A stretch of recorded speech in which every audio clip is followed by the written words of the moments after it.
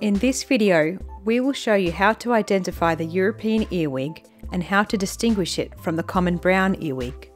Although there are other earwig species found in Australia, the European earwig and the common brown earwig are two of the more common species found in broadacre crops in southern Australia. The European earwig is native to Europe, West Asia, and Northern Africa and has spread to several continents, including Australia.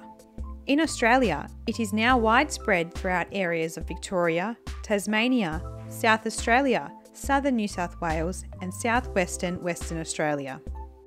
No-till practices and stubble retention likely provide a more favourable environment for the European earwig. Adult European earwigs are smooth, flat, and elongated, and they grow to 12 to 24 millimeters long. They are mostly dark brown in colour, with yellow fawn shoulders and legs.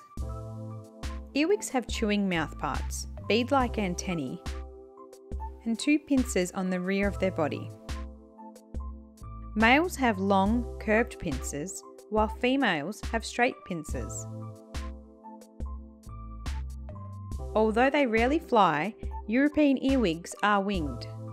They have one pair of short hardened forewings and a second pair of soft hindwings, which are usually not visible.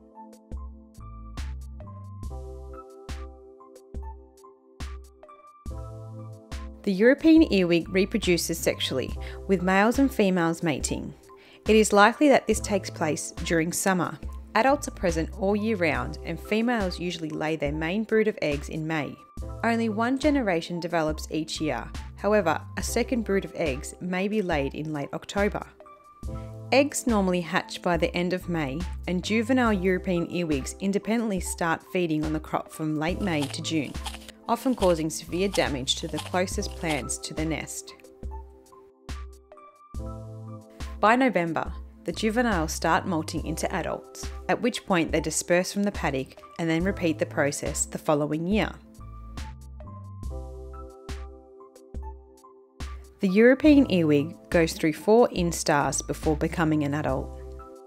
Nymphs are similar to adults in appearance, except they are smaller, paler, and their wings are not fully developed. The European earwig can attack a wide range of broadacre, horticultural, and ornamental plants. Canola is one of the more susceptible broadacre crops. Damage appears as irregular shaped holes in leaves or shredded foliage. European earwigs often completely sever the stems of canola seedlings.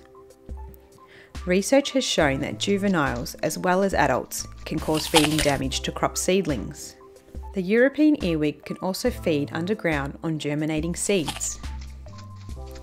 There is the potential for broadacre crop damage throughout the entire year, but this risk is highest when the crops are at their vulnerable seedling stage and when the juvenile earwigs are developing.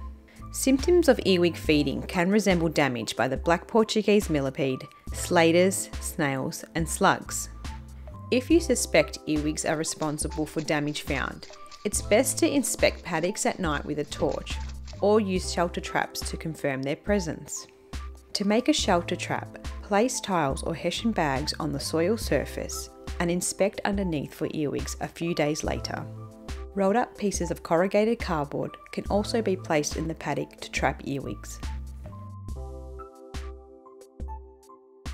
The common brown earwig is a native Australian earwig, which can be confused with the European earwig.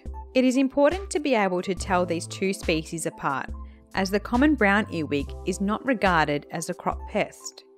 In fact, the common brown earwig has been identified as a beneficial predator of soft-bodied pests such as Helicoverpa caterpillars. The adult common brown earwig is generally larger than the European earwig, reaching up to 30 millimeters in length, but it's the orange inverted triangle behind the head and on the wing case that most readily distinguishes the common brown earwig from the European earwig. Another feature which can help to tell these two earwig species apart is their social behaviour. While the European earwig is a social insect and is found congregating in large groups, the common brown earwig is more solitary and is often found on its own.